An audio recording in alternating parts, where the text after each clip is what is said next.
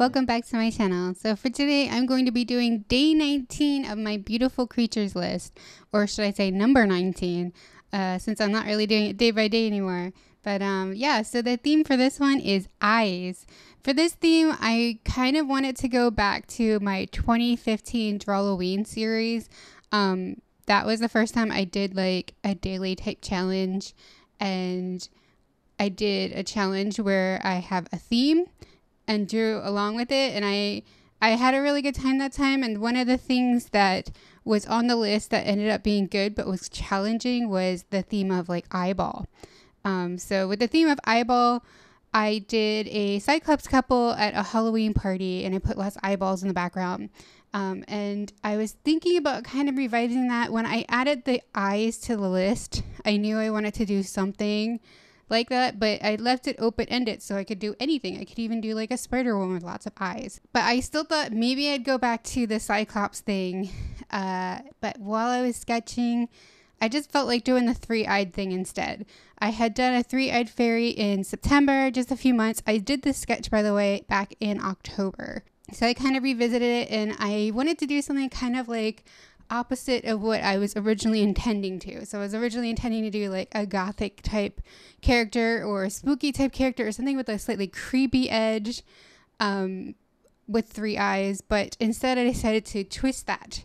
And I made her kind of a preppy Barbie type character um, I wanted her to be wearing a Letterman jacket and kind of being like, I don't know, a cheerleader at high school. But she looks totally normal and super pretty, except she has three eyes. So that's kind of what I was going for with this one. I didn't really use reference for the Letterman jacket, so it doesn't look quite right. I just put a jacket on her, but I was also going for like kind of a comic booky, uh, current day vibe. Uh, I'm not sure if that makes sense to anybody else, but um, it's just some of the stuff I'd been looking at recently. And uh, I was experimenting a lot with this drawing to do a bit more effort into her face to make her look like one step more towards semi-realistic. Um, I've been experimenting with my noses a lot because I'm really not sure what I'm happy with for drawing noses yet. So I've been flip-flopping with experimenting with that. Um, and yeah, I just I really liked how the sketch came out. The first part of the sketch uh, isn't recorded because I did it off camera because I was just kind of in a get it done mood and I just didn't want to sit at the desk to sketch. But I did show you me transferring the very messy sketch onto the watercolor paper and from there I refined the sketch a lot so you saw most of the sketching process. Um, the inking went really, really well, which is amazing for me because uh, I always tend to mess up the inking somehow, so I was really stoked about that. Uh, it took me a really long time to actually finish this piece, though. I mean, I started it back in November or October, sorry, and it must have been before Halloween. I can't honestly remember, but while I was editing the clips, I could hear like myself listening to Halloween movies. So that had to have been before Halloween because usually to me, the day after Halloween, I'm like, all right, this is dead to me. I don't want to watch that anymore. Um, so I think I did the watercolor part in December, and the watercolor went super well with this one too. I think I was just kind of in the groove that day when I started the um, the skin coloring. It just went so well. I just took my time with it. I did a lot of wet on wet methods and a lot of glazing, and I was so happy with how the skin turned out. I decided to go for since I'm going for a brighter like normally Barbie like image. I wanted to also make the skin coloring very um, soft shading, slightly more one tiny step towards semi realistic. I'm not saying it is semi realistic, it's just my style with a tiny little step towards that way. And I was just really kind of proud of how the skin came out. I really like it. Throughout this whole process of this drawing, I feel like I've learned a lot and I experimented a lot and it just really paid off. When it came to doing the background color, I decided to experiment instead of using the same blue and the same green that I use to make blue green normally. I decided to switch it up and I just took a tiny little sample of each blue I have, each green I have, mixed it together, and I found what color would give me the best result.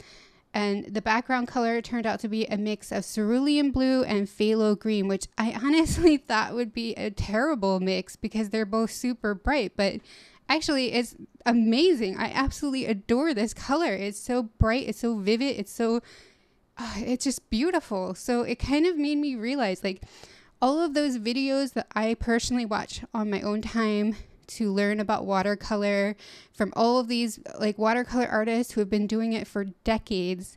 They're always talking about things like um, pigments in the watercolors, uh, single pigment colors, what each pigment means, and mixing colors and muddy colors, all of these terms that I think I understand, but I don't quite understand at all.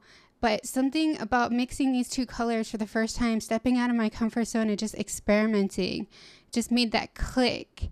And I started to realize I need to research more about pigments and watercolors and how this works. So that's why I went and bought all of those watercolors in December because of this drawing, because of that one instance where I decided to mix all the colors together and see what happened. So that was kind of cool. It's like a little eureka moment for me.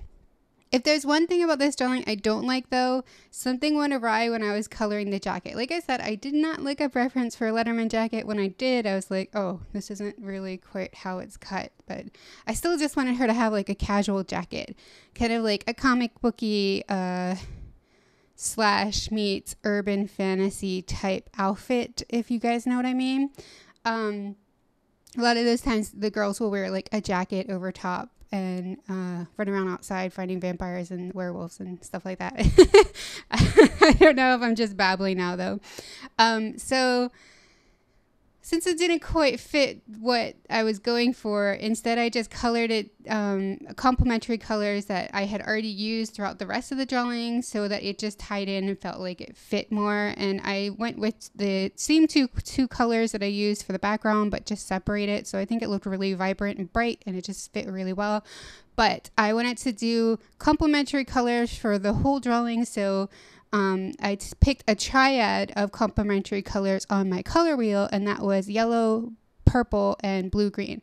So for the the rest of the jacket, I just did a purple, but either it was the paper giving out because I fussed with this part a lot. I added a lot of color, took it off, added water, took it off, um, or maybe it was the paint that I had used, but the color of the purple just got really grainy towards the end and I was really kind of upset about that. I tried a lot of things to try to fix it, but it wasn't going away.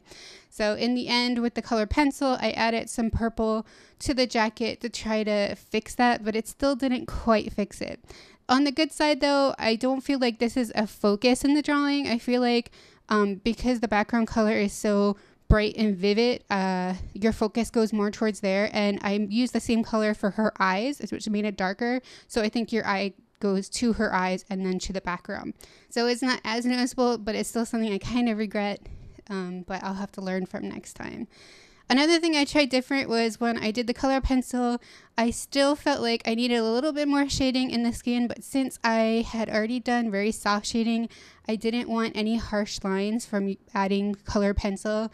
So I took my Copic colorless blender and I used the tip side that I like never use, the broad side, and I used that to liquefy the color pencil, which works perfectly. It's amazing, but be careful if you want to try this because it will destroy your tip over time.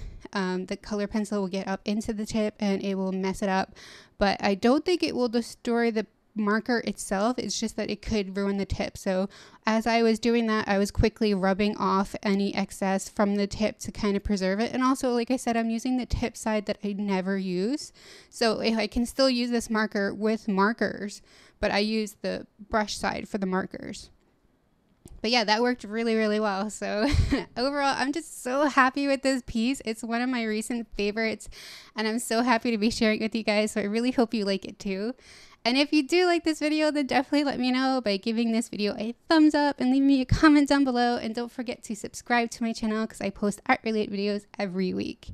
And if you'd like to own a print of this drawing or maybe some merchandise with this image on it, definitely check out my Redbubble shop because I will be uploading this for prints and like bags and stuff like that really, really soon. The link is in the description below, so definitely check that out. It is available now. So yeah, thank you guys so much for watching. You can also see my social media links. You can follow me on Instagram, Facebook, Twitter, and DeviantArt. Um, and that is all in the description below. So yeah, thank you guys so much for watching, and I will see you next time. Bye.